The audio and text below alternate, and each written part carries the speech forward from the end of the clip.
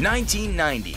Sega, with its new 16-bit console, tries to make a Mario killer as Nintendo is about to release its own 16-bitter. Yuji Naka's program and Naoto Oshima's character design yield a speedy blue hedgehog named Sonic. But two essential elements are missing. The world which Sonic will explore, and full support from Sega of America.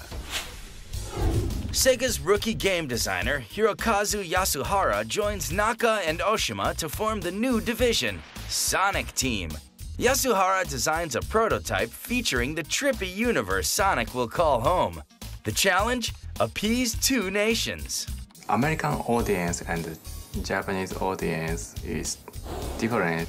American audience feel the challenging is the most fun part of the video game. But uh, Japanese audience want more casual gameplay element. So I want to create a game for the both countries audiences, not only the hardcore gamer, but the you know casual gamers also.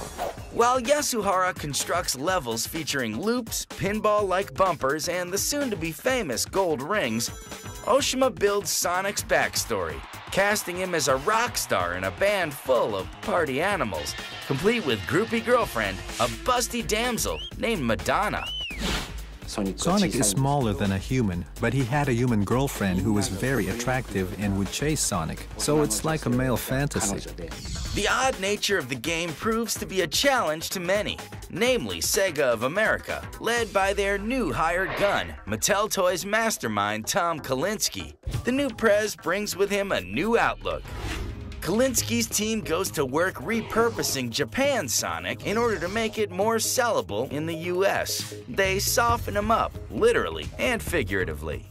Originally, Sonic had fangs, and so we had to remove the fangs. We also had to remove his girlfriend, Madonna, and we also had to remove him out of a rock band. I didn't doubt Sonic. As a matter of fact, I'm known as the mother of Sonic. Mothers love their children. I protected that character. I helped define that character. We had softened him a lot. And um, that was, uh, yeah, there was war. A war starting with a single publicity poster showing Sonic's stateside makeover. I think Oshima's art style was uh, very Japanese. In those days, Sega of America's marketing really wanted to make it a little more American, and the very first Sonic the Hedgehog games poster Sega of America marketing created was uh, hated by the Sonic team and uh, uh, became a big issue at that time. I had to go to Japan and negotiate or rationalize why Sonic should look like this going forward, and that wasn't a fun meeting. In those days, I hated the American change to the look and feel, and I didn't know how the consumers would perceive it. But looking back now, that was one of the reasons it succeeded. Somewhat content with the character tweaks, the man considered by many as the father of Sonic takes a first whack at the prototype. At the very beginning, honestly, it kind of gave me motion sickness. It was that fast.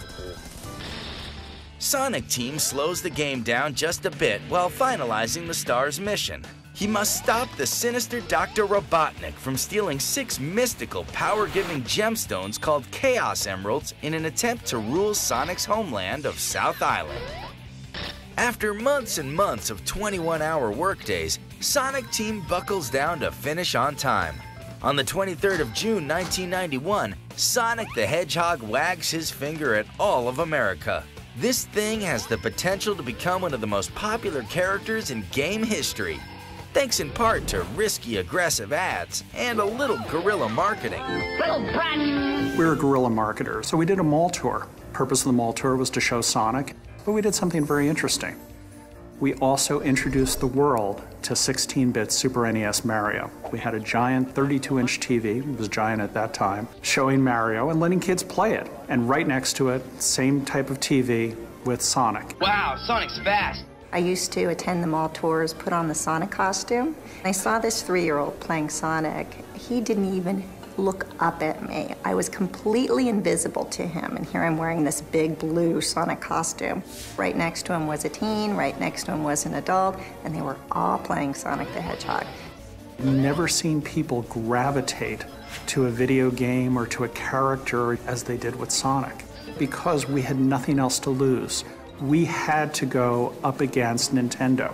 For every dollar that we had in our marketing budget, Nintendo had $15. Some people may think we were crazy. Some people were thinking that we were risking everything we had by going head to head. Within hours of its release, Sega would find out if their risky game, starring a risky character, would pay off.